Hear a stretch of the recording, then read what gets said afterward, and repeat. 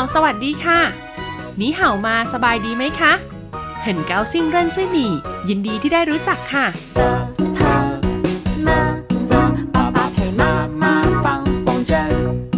พบกับรายการภาษาจีนพาเพลิน ที่จะพาคุณเรียนรู้อย่างสนุก มีความสุขไปกับโลกแห่งภาษาจีน ที่ห้องเรียน RTI 口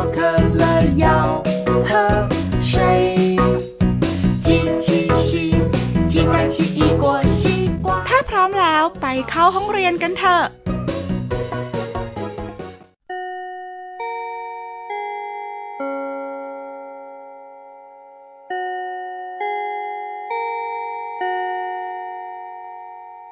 各位同学大家好สวัสดีค่ะ คุณผู้ฟังใดที่รักและเคารพทุกท่านขอต้อนรับเข้าสู่ห้องเรียน RTI กับดิฉัน เจนเจนเหล่าชื่อค่ะ ในสัปดาห์นี้นะคะ เราจะเข้าสู่บทที่ 77 ของสนทนาภาษาจีนกลาง 1,000 คำค่ะ第七十七课快乐的志工บทที่ 77 นะคะ อาสาสมัครผู้มีความสุข เดี๋ยวเราไปฟังบทสนทนาในบทเรียนนี้กันก่อนเลยค่ะ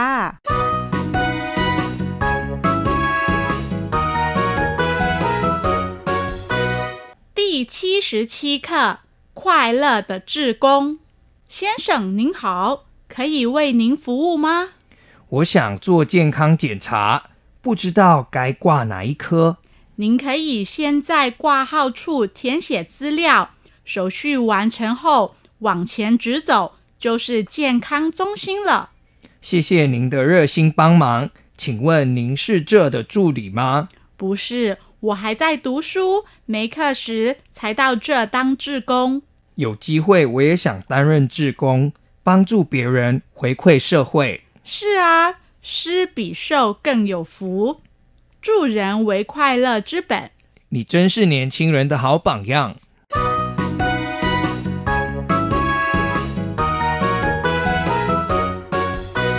第七十七课快乐的志工บทที่ 77 อาสาสมัครผู้มีความสุข 快乐มีความสุขนะคะ快乐志工志工หมายถึงอาสาสมัคร先生您好可以为您服务吗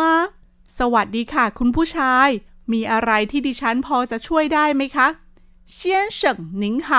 先生คุณผู้ชายนะคะ您好สวัสดีค่ะ可以为您服务吗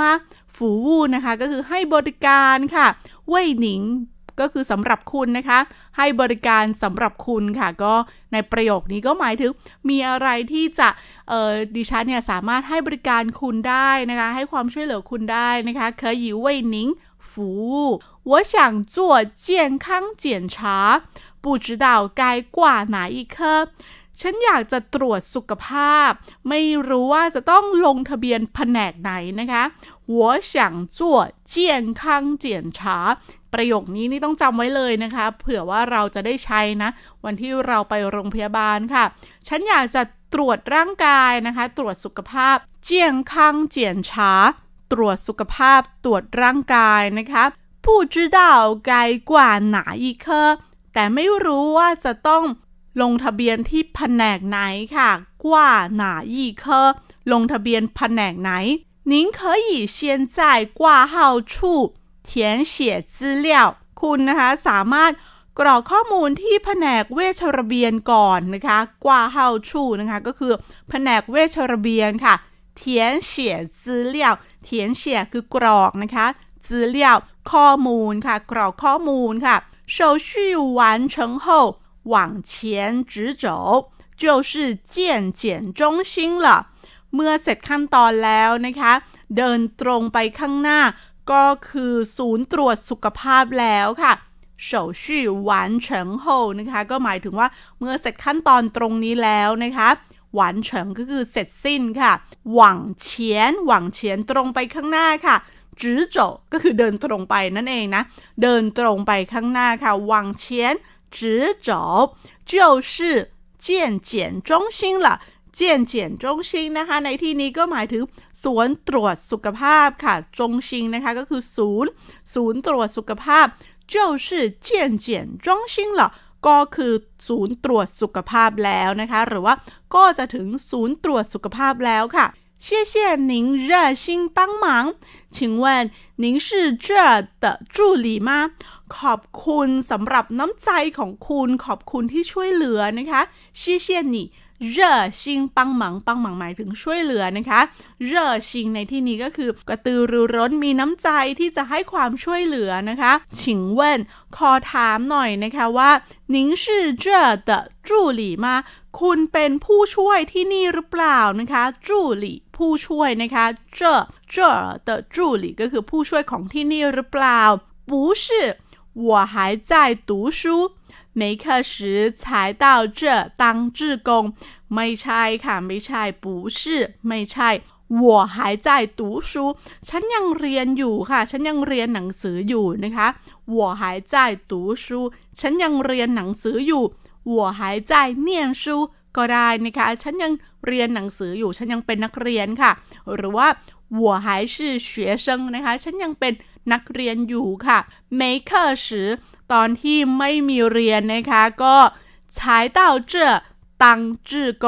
ก็จะมาเป็นจื้อกงหมายถึงอาสาสมัคร ก็จะมาเป็นอาสาสมัครที่ไหนคะที่นี่นะคะเต่าเจอก็คือมาที่นี่เพื่อมาเป็นจื้อกงนะคะตังจื้อกงเป็นอาสาสมัครค่ะ有机会我也想担任志工帮助别人回馈社会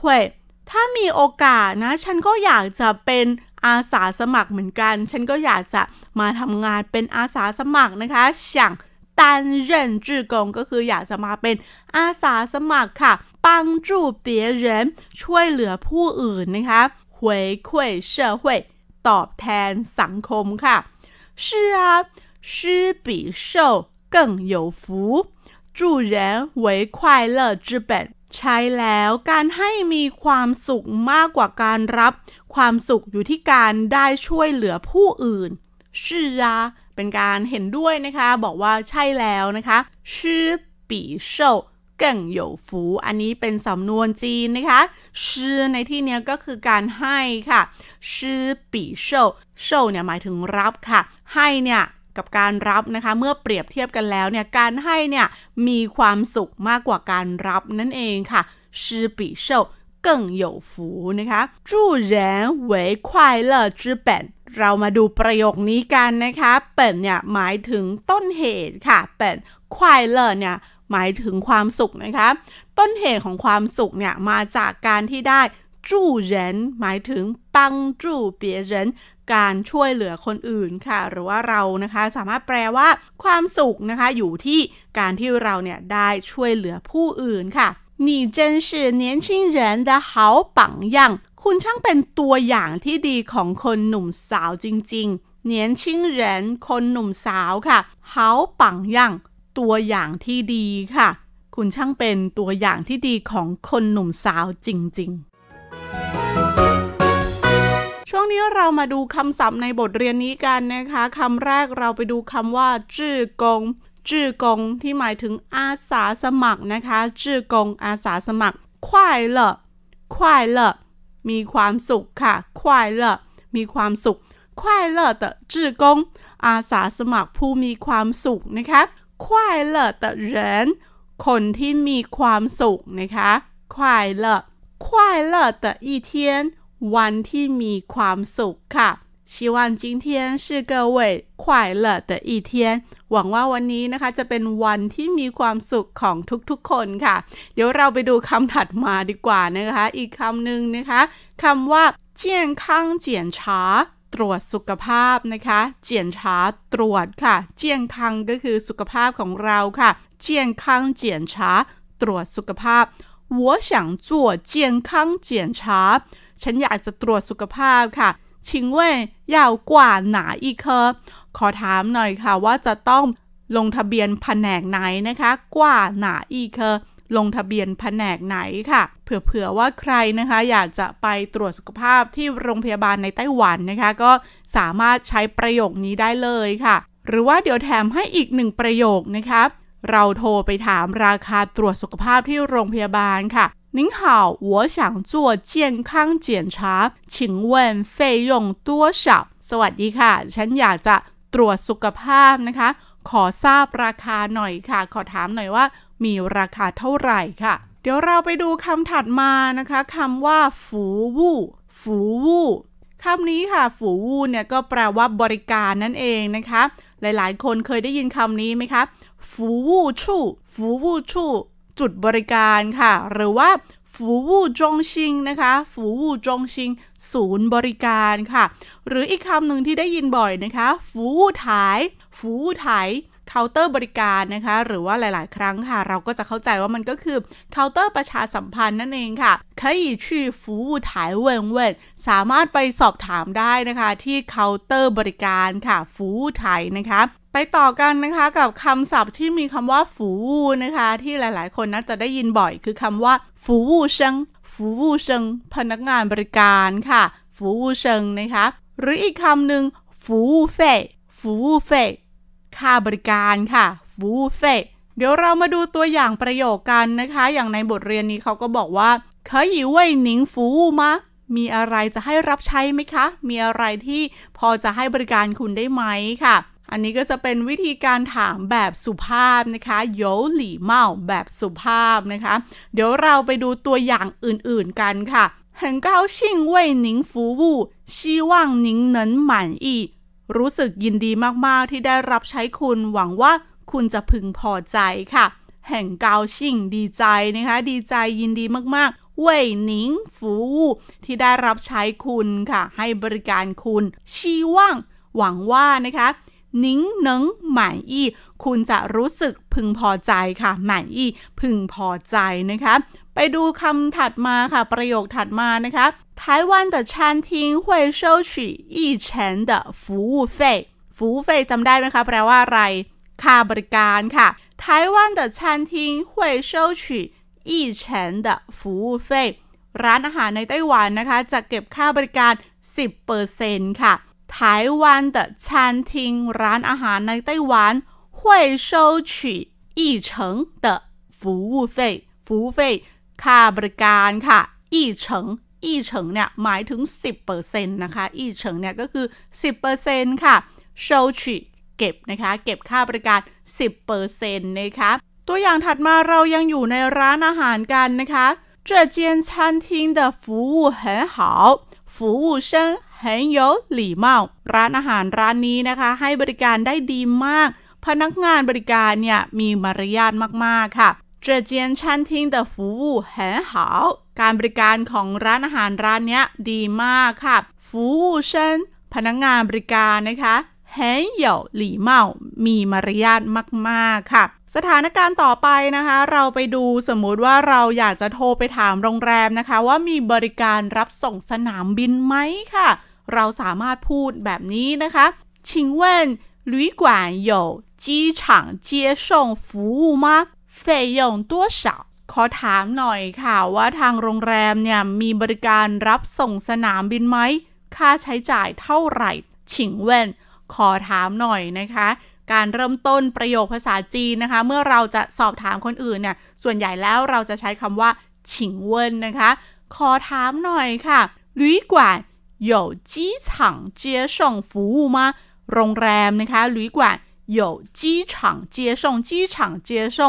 รับส่งที่สนามบินค่ะ ฟูวูบริการนะคะ มีบริการรับส่งที่สนามบินไหมเฟยยงค่าใช้จ่ายค่ะเฟยยงตัว少ค่าใช้จ่ายเท่าไหร่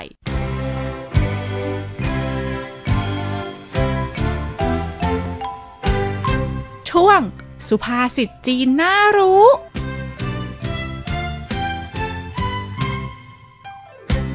สุภาษิตสำนวนจีนวันนี้ขอนำเสนอคำว่า诗人善勿念受施善勿忘ประโยคแรกหมายถึงเมื่อเป็นผู้ให้อย่าเอาแต่ไปจดจำสิ่งที่เคยมอบให้คนอื่น ประโยคที่สองนะคะ หมายถึงเมื่อเป็นผู้รับ จะต้องห้ามลืมโดยเด็ดขาดนะคะ ว่าเคยได้รับอะไรจากผู้อื่นมาบ้าง อย่างเช่นในบทเรียนนะคะที่บอกว่าชื่อปีเช่าเกิ่งโยฟูการให้มีความสุขมากกว่าการรับสำหรับภาษาจีนพาเพลินในวันนี้คงต้องลากันไปก่อนแล้ว กลับมาพบกันใหม่สัปดาห์หน้า สวัสดีค่ะ